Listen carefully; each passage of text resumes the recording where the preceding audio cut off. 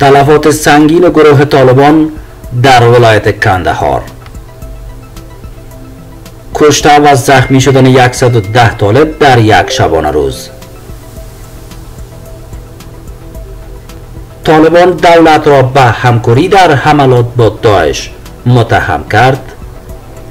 به نام خداوند بخشاینده و مهربان.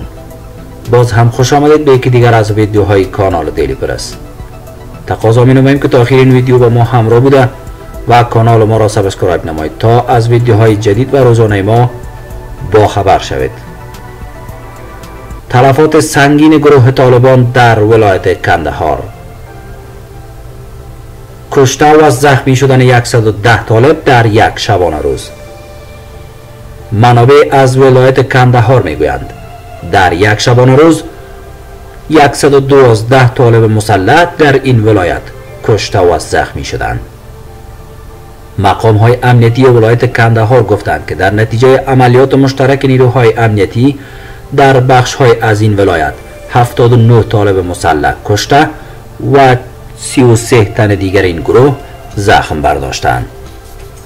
در اعلامیه مشترک نهادهای امنیتی ولایت کندهار آمده است که طی عملیات نیروهای دفاعی و امنیتی در ولسوالی های ارغنداب، مایوان، ژیرای و پنجوایی این ولایت و گروه طالبان تلفات سنگین وارد شده است و تجهیزات این گروه تخریب شده است.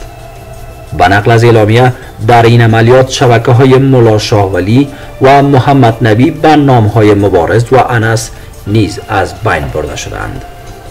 اعلامیه همچنان می افزاید در پی عملیات نیروهای دفاعی و امنیتی در ولسوالی ارغنداب یک موتر سایکل زرنگ که مملو از مواد انفجاری می باشد نیز به دست نیروهای امنیتی افتاده و از بین برده شده است.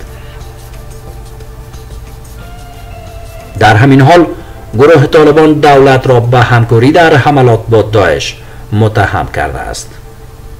سخنگوی گروه طالبان ضمن محکومیت حمله به دانشگاه کابل مدعی شده است که دولت افغانستان با اعضای داعش در حملات کابل همکاری می کند.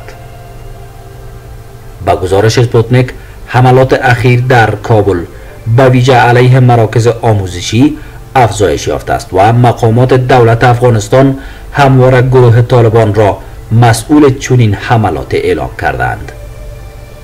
زبیح الله مجاهد سخنگوی گروه طالبان در واکنش به حمله مهاجمان به دانشگاه کابل در بیانیه اعلام کرد که گروه طالبان این حمله را محکوم می کند.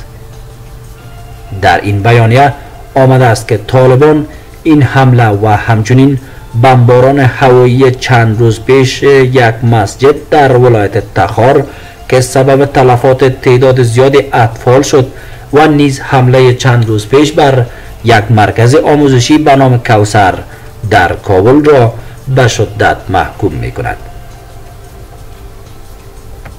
سخنگوی طالبان با اشاره به درگیری های این گروه با داعش در ولایت ننگرهار و جوزجان گفت که بدون شک این حملات توسط عناصر شریر انجام می شود که پس از شکست در ننگرهار و جوزجان توسط مقامات کابل در مهمانخانه ها پناه داده شدند و سپس برای چنین حملات وحشیانه استخدام همکاری و راهنمایی می شوند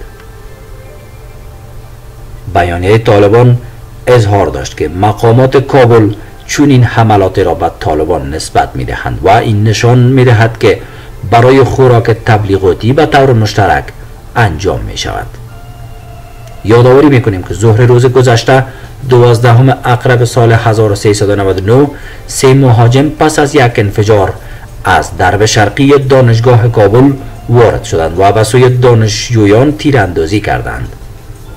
پس از این حمله دانشگاه کابل به محاصره نیروهای امنیتی درآمد و پس از حدود پنج ساعت درگیری با کشته شدن سه مهاجم این حمله پایان یافت. این حمله ده ها کشته و زخمی بر جای گذاشت. ناامنی ها در کابل و برخی ولایت های افغانستان تشدید شده است و حدود 16 روز پیش امرالله صالح معاون رئیس جمهور کشور مسئول تأمین امنیت کابل شد. مرکز آموزشی کوسر دانش در منطقه شیعه نشین غرب کابل نیز سوم اقرب هدف حمله انتحاری قرار گرفت که در این حمله دست کم 24 نفر کشته و 57 تن دیگر زخمی شدند. مسئولیت این حمله را گروه تروریستی داعش بر عهده گرفت.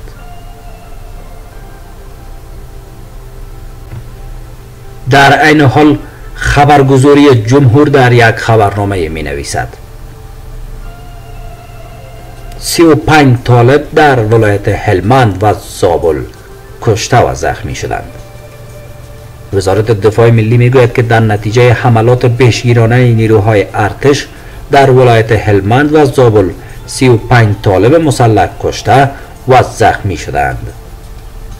وزارت دفاع ملی می گوید که در نتیجه حملات پیشگیرانه نیروهای ارتش در هلمند و زابل سی و پنج طالب مسلح کشته و زخمی شدند.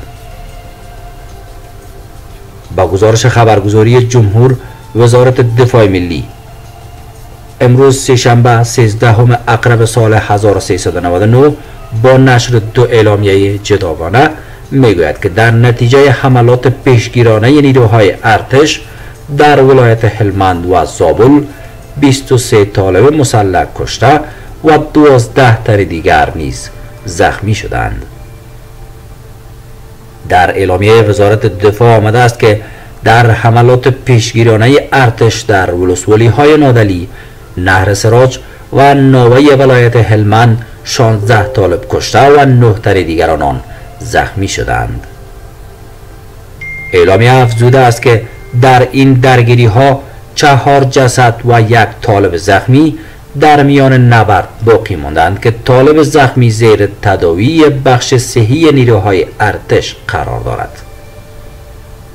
بر بنیاد اعلامیه نیروهای ارتش در مسیر شاهراه نمبر 601 دلارام نیمروز 20 ماین ضد وساید را خونسا کردند.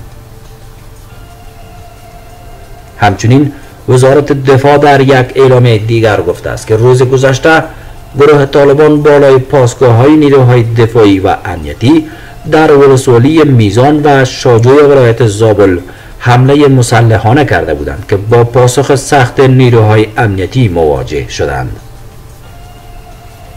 اعلامیه افزوده که در این درگیری هفت طالب مسلح کشته و سه تن دیگر آنان نیز زخمی شدند.